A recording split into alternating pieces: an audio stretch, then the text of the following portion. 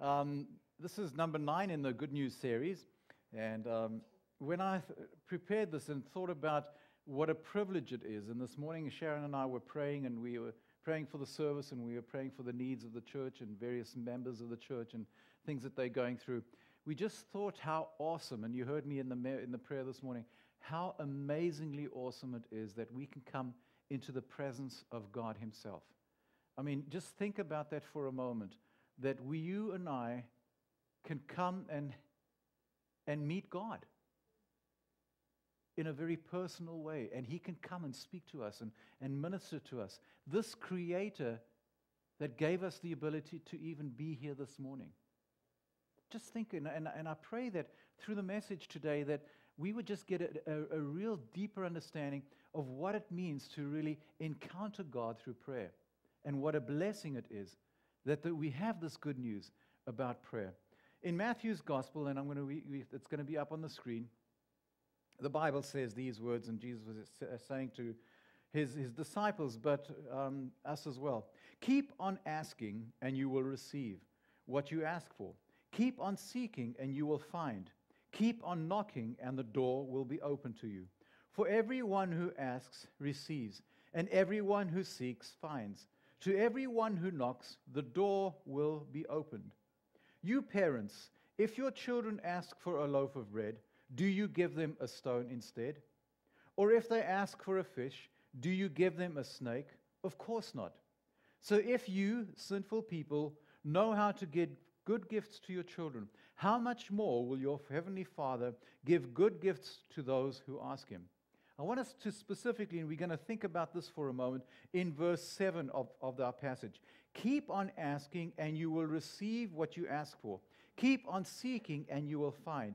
Keep on knocking, and the door will be open to you.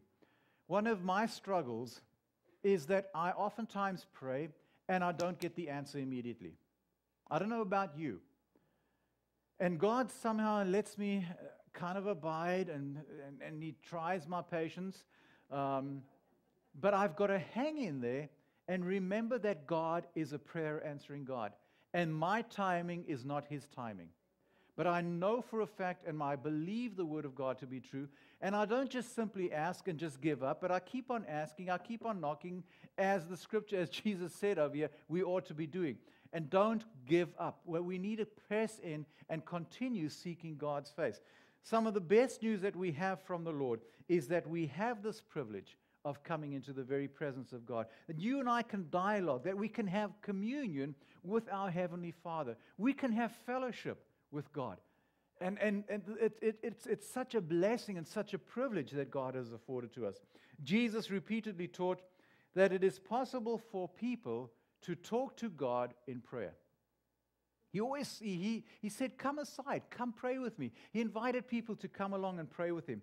He told his disciples to believe that the Heavenly Father was eager to come and encounter them and meet with them. And that same message that he told his disciples is the same message that Jesus would share with you this, this morning is come come into the very presence of god. Come into his into his awesomeness into his into his glory that you and i can go and spend time with him. Jesus spoke of the father as being both generous and being wise in giving good gifts to those who come to him in prayer. So oftentimes, I think we miss out on the things that God has for us because we fail to come to Him in prayer. Most times, and I've met, and, and, and, the people that you meet, the only time that we come to God in prayer is when we have some need. And that's not fellowship. That's like having a best friend that we never spend time with. I mean, what kind of a friend would, would, would that be if you never spend time with them? and, and, and, and be in fellowship with them and wanting to hang out with them? And God's more than our best friend. He's our Heavenly Father, and we can spend this time with Him in His presence. He is more than a best friend, He's our Heavenly Father. In the words of our text this morning, our Lord encourages us to be persistent in our efforts and that we continue pressing in into God's presence. We must not only seek and search for the gifts of God, because that's important, but it's more than that. But we must also come and seek His guidance, to seek His assistance, to seek out all the mysteries that He wants to reveal to us about His plan for our lives. And we miss out on those things when we don't spend the time with Him. If we don't go and spend time in His presence, if we don't come and kneel before Him, and I'm not saying that you have to kneel, but just to be in His presence, perhaps you, you're comfortable sitting on the side of your bed, or maybe in the living room when it's all quiet, or maybe you have a special place, place where you feel closer to God, that you set yourself aside and you spend this time with God. John Wesley's wife, now they had many children. And the children would always press in and press in and press in. And, then, and she would just never find the time. So, what she would do, she'd go into the kitchen and she would have a prayer covering or like a blanket. And she would just cover her head and block everyone out.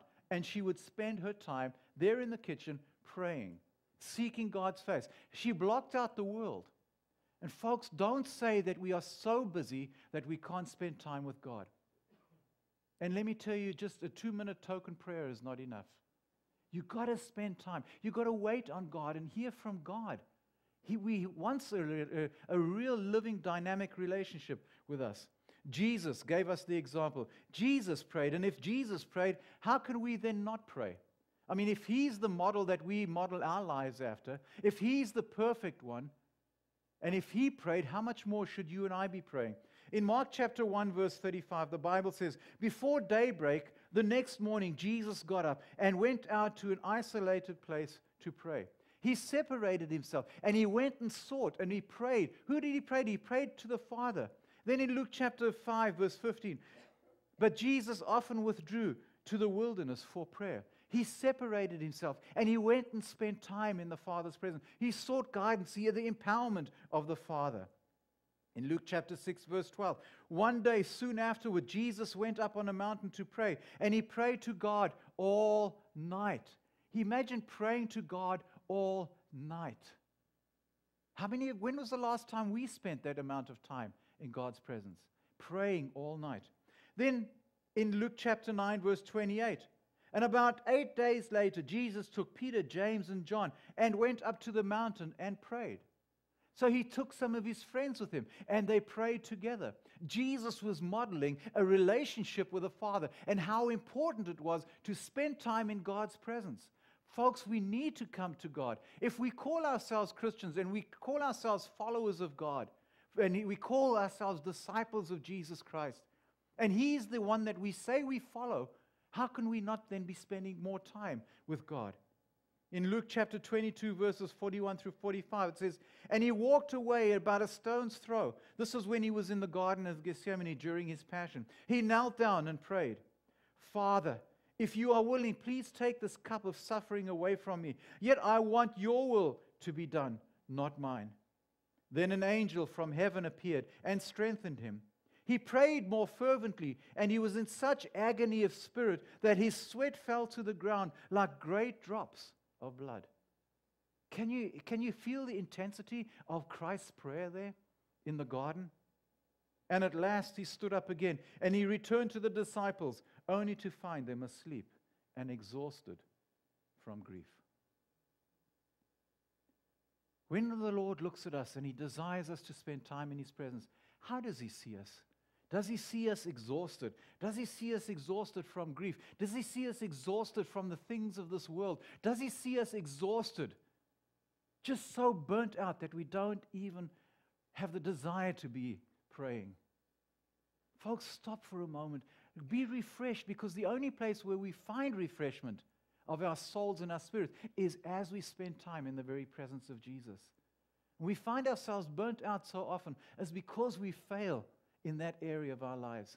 One of the hardest ministries in any church, and I've spoken to many, many pastors, is the ministry of prayer, of coming together corporately and just being in the very presence of Jesus. You know, oftentimes we think that we, when we come together, that we each must pray, and that was sometimes it's just good just to sit and wait on God. But because we live where we live, I guess, because everything's like instant and you press this button and it's there and bang, bang, we think God ought to be the same. But God's not like that. We need to come to Him in prayer, seeking His face. Prayer permeated every aspect of the Lord's life, it saturated His life. He had such a connection with the Father. He faced at the close of his ministry, when we see right here in the Garden of, of, of, Gethsemane, we see that his ministry was coming to a conclusion. And yet, there he, we see him again praying to the Father. While on the cross, he communed with the Father. You see the words of Jesus as he was suspended between heaven and earth, talking to the Father, having this dialogue with the Father going on, even in the midst of this great tragedy. But our redemption was won on the cross of Calvary. Even though at that particular time it seemed like the end had come, Jesus knew that it was just the beginning. And so we celebrate that this morning. The Lord's presence ministry today can be described in terms of our intercessory prayer as we pray for one another, as we intercede for one another, as we uplift one another before the Lord. When we are made aware through the prayer chain, there's a prayer request. Stop right there and then and pray for that need. Don't just say, oh, there's another prayer text and just delete it. No, stop for a moment. Just uplift that need before the Lord. Imagine if all of all the people, I'm not sure, Bob, there's probably 150 people on that prayer list, maybe more. Oh, 100. But imagine if right there and then 100 prayers just enter into the very presence of Jesus. Right there and then. That's like continuously asking. It's like the Lord's heard that 100 times. Bang, just like that. And, and, and, and the Lord doesn't just need 100 prayers, He needs thousands. He wants to fellowship with his creation. In Hebrews chapter 7, verse 25, the, the, the writer of Hebrews says, Therefore, he's able once and forever to save those who come to God through him. He lives forever to what? To intercede with God on their behalf. In other words, the Lord is interceding. And intercession is that He's praying for you and I. He's bringing us before the Father. He's interceding for your needs, my needs, our needs together as a community of faith. The second thing that the Lord did, our Lord encouraged you and I, who are his followers, to pray. Not only did Jesus model prayer, but he told us to pray. You see, for the Christian, it's not optional. We cannot be a follower of Jesus if we don't pray. Then you're just fooling yourself. You're living in a fool's paradise, to tell you the truth, if you do not pray. You must pray. You must commune with the Father. You must talk to the Lord. The Lord assumed that all his followers would pray. He assumed his disciples would pray. It was just a given. It wasn't even something to, to, to, to teach on. He just said, when you pray, this is how you ought to pray. In Matthew chapter 6, verse 6, he says, And when you pray, go away by yourself, shut the door behind you, and pray to your Father in private. Your Father who sees everything will reward you. Jesus didn't say, hey guys, I think you should pray. He says, when you pray, he just presumed. I mean, and it wasn't presumptuous of him, it was just a thing that his followers did. They prayed. And let me tell you, when you pray, your life changes. You are impacted. The Holy Spirit does such a work in your life. You might be so down in the dumps, but when you get up from a place of prayer and communion with God, your spirit is lifted. You feel like you can walk on clouds almost. It's like God shows up and He does something in your life when you pray. But when we fail to pray, we remain in that, in that, that deep, dark place, oftentimes called maybe even depression. God helps us in whatever need you may have, whatever you might be going through. Whatever difficulty you may face today or tomorrow, Jesus is there, and we have this privilege of coming to Him. Every time Sharon and I pray in the morning, and we finish praying. We, she, Sharon may wake up and she says, Yeah, I'm really down this morning. I say, Come, let's pray. We pray and bang. She says, we, you know, we get up from the place of prayer and, and our life is different. She says, ah, Man, this morning she said it. Don't you feel like light? I said, Yeah, because we've been in the presence of Jesus. We brought our needs and the burdens before the Lord. And, but during the course of the day, we have all the things that, that penetrate our lives and impact our lives, and we start bearing them ourselves. And we need to come to Jesus who comes alongside of us, and we can spill our guts before him. All Christians should be praying on a regular basis, individually, but as well as corporately. When we get together, spend time with the Lord. In a Bible study, spend time together in prayer. Sometimes that's the most difficult time. It's like pulling rocking horse teeth. It's impossible. People just don't want to spend time. But when you realize the privilege of what it is to come and pray and to be in the presence of Jesus, something dynamically changed. Some of us feel, well, my, my, my language might not be adequate. God hears your heart before He hears the very words that you express. He knows what you're going through. The Spirit of God knows that. And you don't have to be embarrassed or anything. Just spill your guts before God, and that's what God appreciates. He, You can't, you can't fool him. You know, you can speak eloquently or whatever the case may be. He's, he's not impressed by that. Nothing. But what he loves is a heart that is broken and contrite and, and humble before him, that comes to him and acknowledges who he is and our relationship one with him. That's what God desires. He wants that connection with us. Private prayer enables you and I, as believers, to pour our hearts before God, expressing our true needs and our true feelings. In the quietness, we wait and let God come and answer and minister to us. I believe that Jesus made the assumption that all people were to pray because he knew the great enemy that's always about.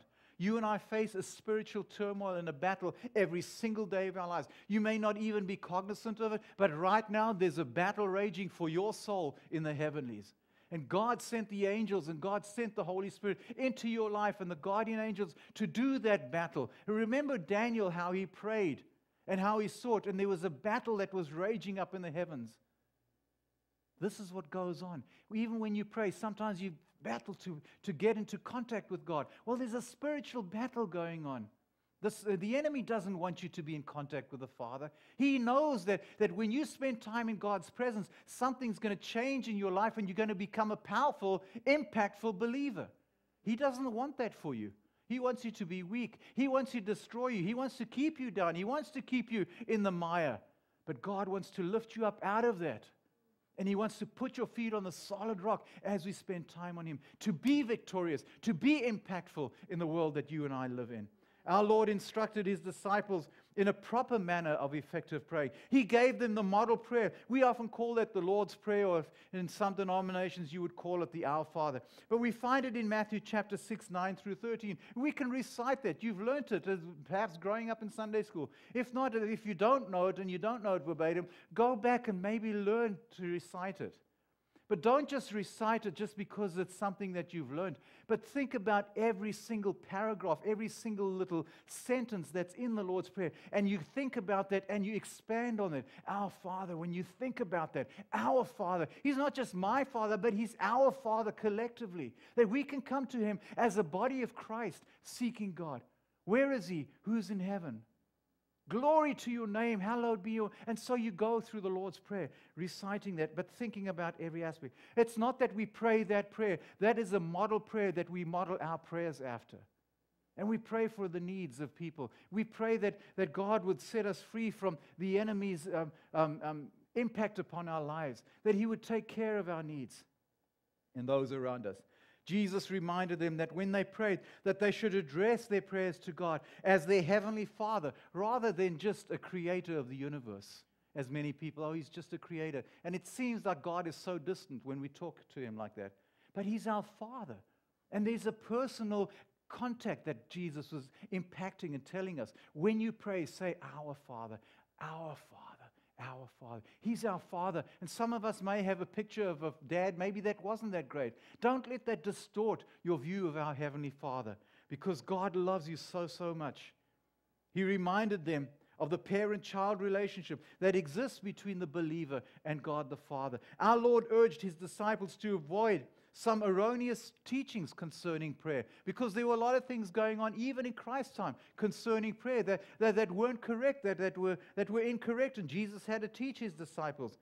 And Jesus said this in Matthew 6, verse 5. And when you pray, don't be like hypocrites who love to pray publicly on the street corners and in the synagogues where everyone can see them. I tell you the truth, that is all the reward they will ever get. That's all the reward that they will ever get. Now, think about that for a moment. You've been in situations where people, and you've been, maybe even been in prayer meetings where people brag on themselves, right?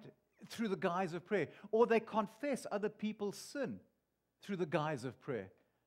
How do you think the Father feels about that?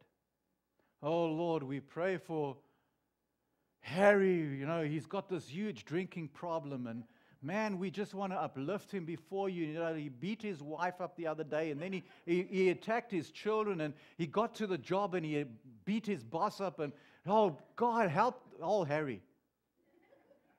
Oh, what, what kind of prayer is that? Confessing another person's problems. Pray for Harry that the Lord will undertake in his life, but you don't have to confess all the things that they're going through. God knows that. And He knows deep down in our heart. Pray for Harry that he finds Jesus. That's how we ought to pray. Lord Jesus, we uplift Harry before you. Oh God, that you would do a great work in his life, that he would fall in love with you, Lord Jesus, that he would come to know you and follow hard after you. Wouldn't that be a better prayer? I think so. And so when we come to him, we, we come, and Jesus says, and when you pray, don't babble on and on as people of other religions do. They think that their prayers are answered merely by repeating words again and again. Don't be like them, for your Father knows exactly what you need even before you pray them. Now, I grew up in a certain denomination, and there were certain prayers that when we sat down at a meal, it was almost like rubber dub dub, thanks for the grub. Um, and, it, and it was so, it was just, uh, it was such a ritual. And it meant nothing. It's just, okay, done. Now we eat. But then when my dad found the Lord, and my mom found the Lord, my brother found the Lord, suddenly that prayer wasn't just that kind of like route prayer, but it was it was actually communicating with God, and it, it, took on such a different meaning, such a significant meaning. And sometimes you'll pray with your kids, lay me down to sleep, and blah, blah, blah. But why don't you pray for your children in a real way and connect with God? and talk to him and, and, and intercede and ask God's protection upon them and ask God to, to watch over them during the course of the night and to guard their hearts and to guard their minds. Pray for your spouse while they're at work. Pray for one another. Encourage one another.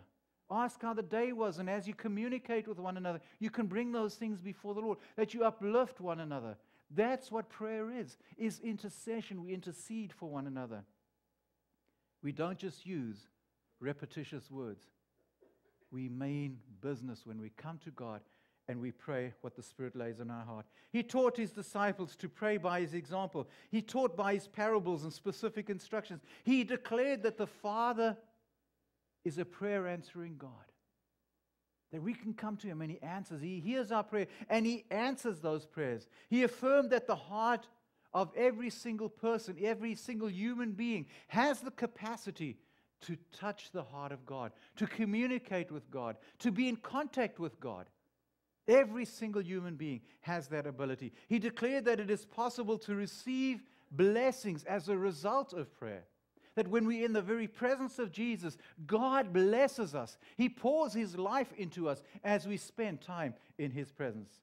You see, prayer is richly rewarding.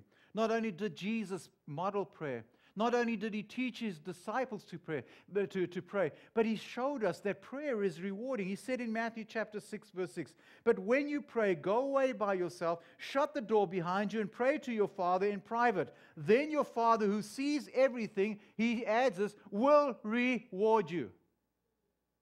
Now, this is Jesus saying, and Jesus could never tell a lie.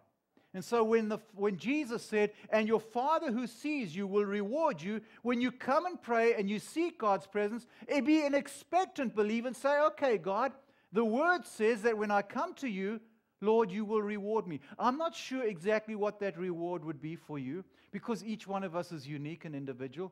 But expect, come to God with an expectancy. That reward might be that He answers your prayer right there and then. Or it might be that He does something and He causes circumstances to change in your life. When Sharon and I finished praying this morning, the reward was we just I felt uplifted and, and it was just a fresh breeze that seemed to blow. And it wasn't because the windows were open, but it because God showed up. You and I, we can experience that nearness of God when you come into His presence, when you pray. That, just imagine that's why I, I, this was so impactful in my life is that when we pray, we know God is there. And we can experience His presence. It's almost like when you sit in the presence of Jesus, you can almost sense His arm around you. And it sounds hokey, but, but it's really not because His presence is there and it envelops you. The love of the Father envelops you because he loves us so much. And his heart burns and desires us to spend time with him. In James chapter 4, verse 8, the Bible says, and he wrote, Come close to God, and God will come close to you. Wash your hands, you sinners. Purify your hearts, uh, for your loyalty is divided between God and the world. Sometimes it's like that, isn't it? We want we want to know God, but our loyalty is, is split because we want the things of the world as well. And so we're straddling the fence. We got one foot in the kingdom and like one foot in the world. God says, Get, put both feet into the kingdom. Live for me.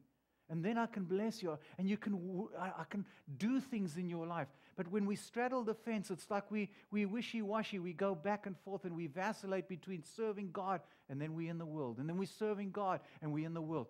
Make a decision and a determination in your life and say, As for me and my house, we will serve the Lord. Young people, when you get married and you find your, the, the, the one that you want to spend the rest of your life for, can you say that? As for me and my new house, we will serve the Lord? Wouldn't that be tremendous? For those of you that are married and you've been married for some time or whatever the case may be, make that commitment to the Lord. We will serve God as much as we can and, and to the very best of our abilities. Don't do it half heartedly, but do it wholeheartedly in serving God. The heart of the child of God hungers for God, hungers for an, awareness of God, for the very presence of God, from the for the assurance that God loves them. There's nothing greater to know that you loved, isn't it? There's nothing greater to know that you're loved by God. That He cares for each one of you, that He cares for every single human being. Scripture and the experience, uh, our experience, testify to the fact that God is alive. The experience that you have when you're in the presence of Jesus and, you, and once you've finished your prayer and you say amen and so let it be, Lord, that amen is, is so let it be, oh God. Every time you say that, it's reaffirming what you've just prayed for, what you've just brought before the Lord. We become aware of God's precious abiding presence as we seek Him in the closet as in, in, in the closet of our, uh, the, the, the, prayer closet where we go and spend. You may have seen that movie recently. I don't know what it was called again.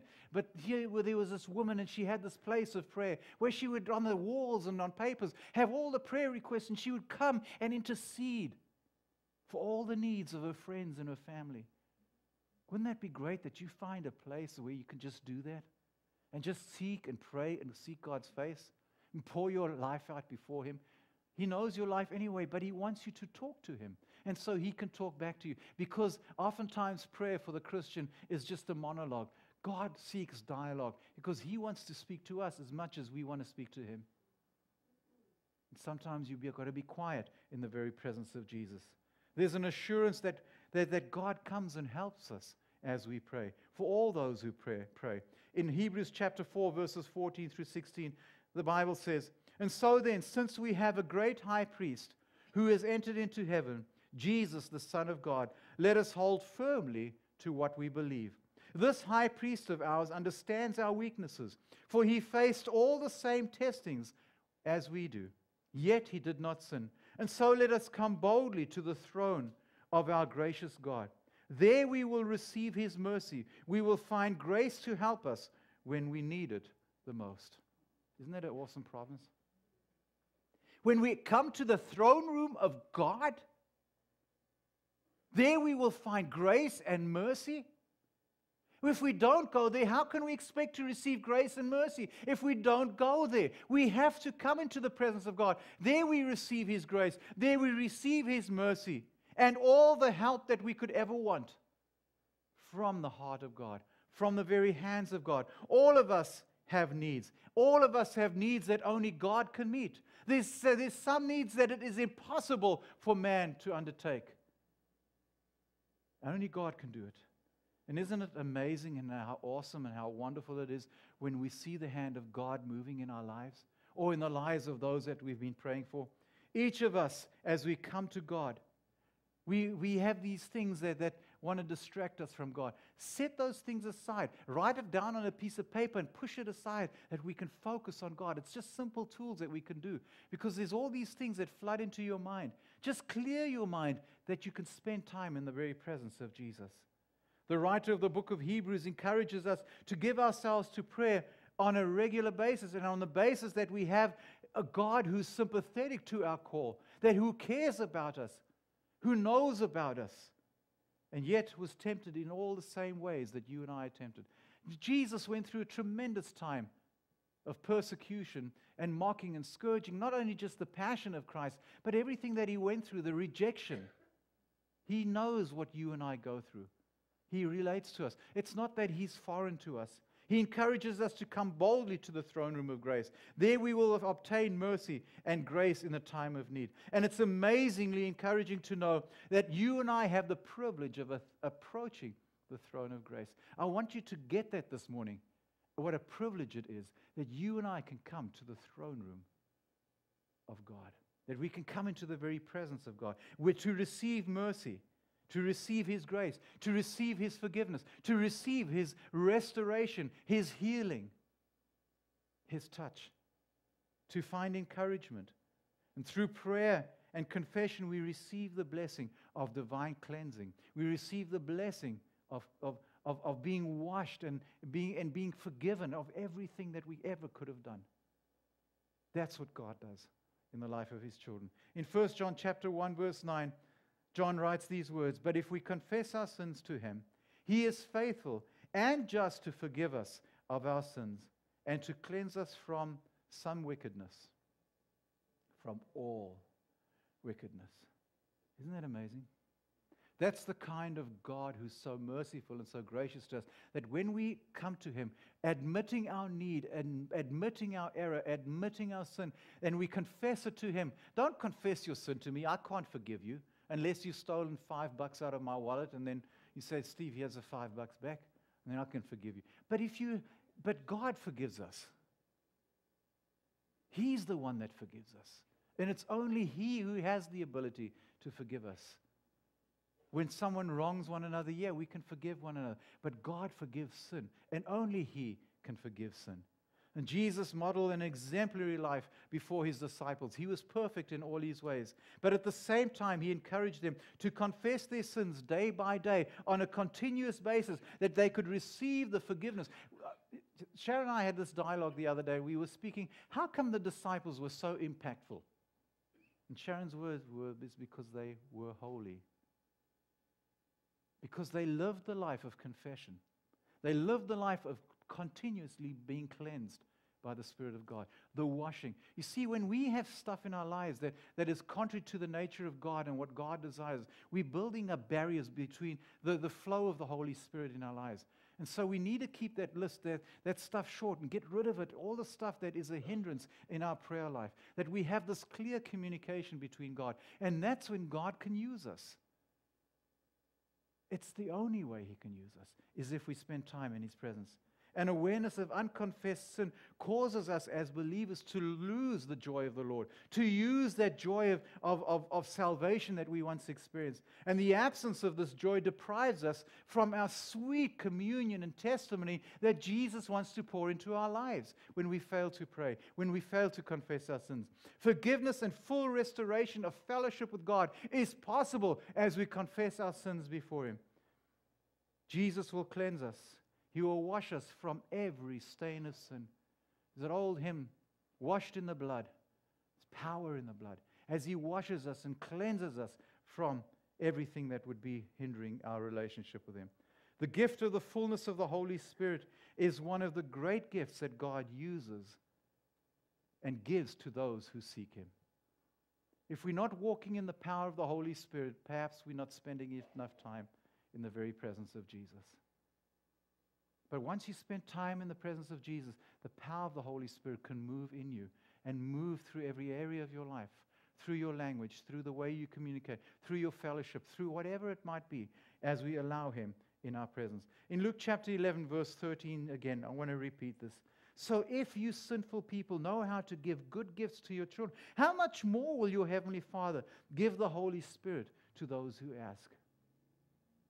Some of us, we have the Holy Spirit. When you were born again, the Holy Spirit came and indwelt you. You can't be born again apart from the Holy Spirit.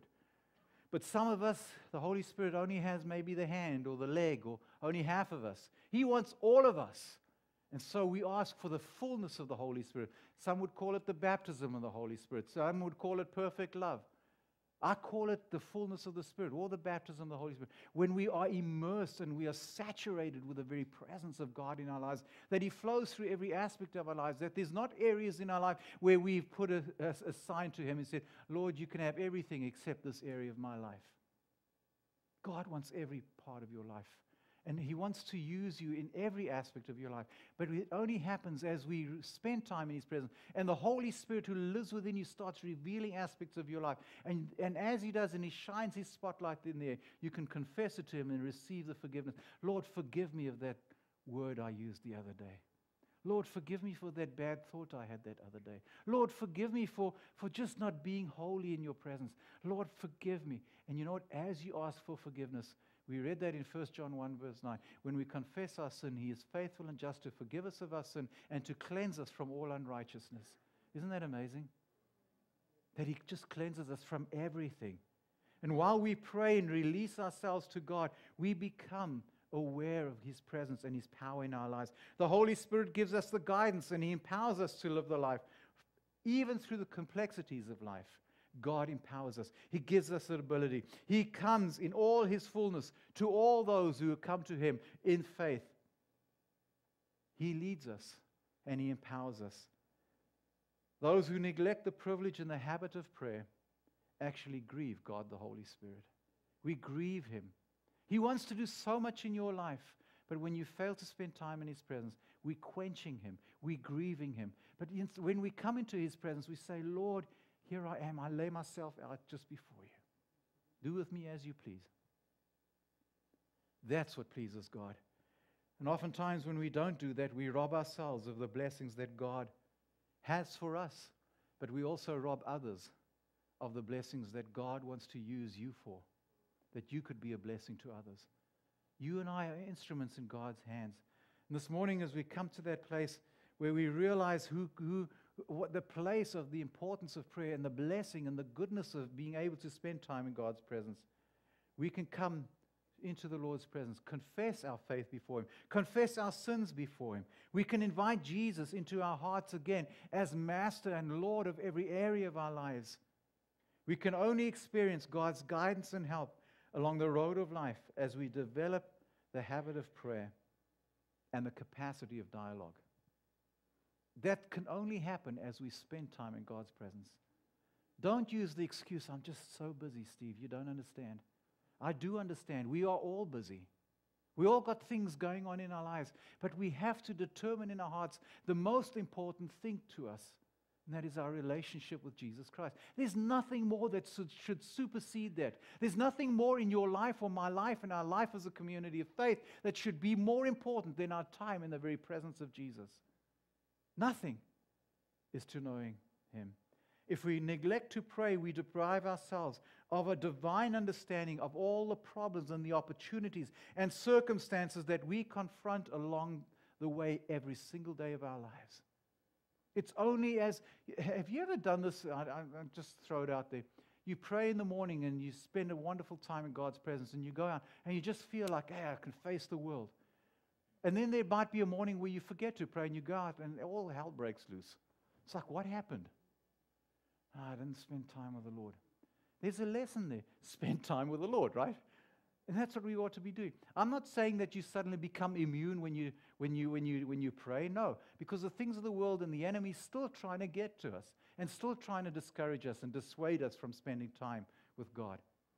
But we can come to Him every moment of the day and bring all our needs before Him. When we go through a difficult time, and some of you have gone through such difficult times this past week, draw close to Jesus. Just abide in His presence. Let His love envelop you. And as He does, and He puts His arm around you and He loves on you, you'll feel your spirit lift. And it's going to be okay because you're in the very presence of Jesus. Much of what is going on in heaven, this very moment, is a spiritual battle for your life for your time that you spend with God. Communicating with God is enjoying His presence. Don't make prayer such a burdensome thing. See it and change your perspective of it. Say, listen, I'm coming into the presence of God Almighty. What an awesome privilege that is. And our communion will be perfect and without limitations and hindrances as we come and we spend time in the very presence of Jesus. If you haven't accepted the Lord, or you've kind of drifted away a little bit, or you haven't been spending time in, in, in the Lord's presence, Jesus is here and He wants to invite you to come back and to be in fellowship with Him, that He can come and talk to you and you with Him. It's an open invitation. But He'll only hear you as you are a child of God. And that's where it begins, is as you surrender your life to Him. God has taken the initiative and is eager to be in communication with you today. But not just today, but from every day. Don't just think Sunday is the day that we pray. We pray every day. And it's not just before a meal or just before we sleep that we pray. We pray in communion with God. Make it a way of life. And when you do that, let me tell you, you're going to feel an impact in your life. You will sense and you will experience God perhaps again for the first time or again a refreshing and a new move of God in your life. But it's up to you. I can't do it for you. All I can do is just share what like I did with this morning and to encourage you to come and seek Jesus. Let's pray.